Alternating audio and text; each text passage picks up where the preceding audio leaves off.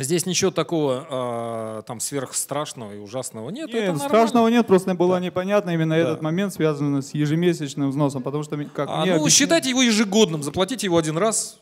Так нет, ну как бы вот, вот этот вот момент и самое интересное, то, что я узнавал, а, узнавал то, что мне надо было заплатить сначала ежи, ну то есть а, А, за нет, все, это имеется а в виду- потом еще и каждый месяц платить А, что-то. Ну, Вот- видимо, вот- вот имелся этот в виду, момент я не знаю, с кем вы общались непосредственно, но, видимо, имелся в виду первичный взнос за непосредственно а, сам процесс сертификации.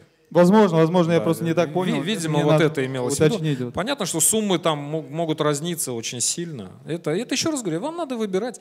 Еще надо переходить на уровень бизнеса. Это бизнес, уважаемые друзья, братья и сестры. Это бизнес, это не а, танцы с бубнами. У нас вот это все настолько привыкли, что пришел большой дяденька в огромной челме и что-то там пробормотал, и все сразу стало халяль. Вот э, церковь построена.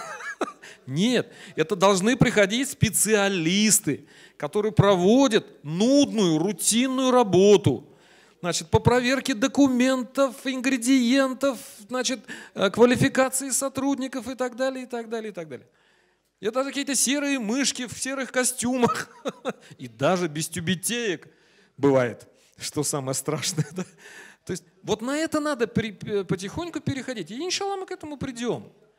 И тогда все станет понятно. Правила игры станут ясны. Потому что в бизнесе ведь все очень четко и конкретно.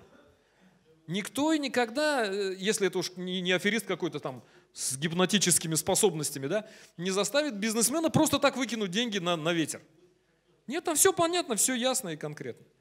И вот мы к этому идем. И здесь я думаю, что ну просто, видимо, недостаточно хорошо вам объяснили.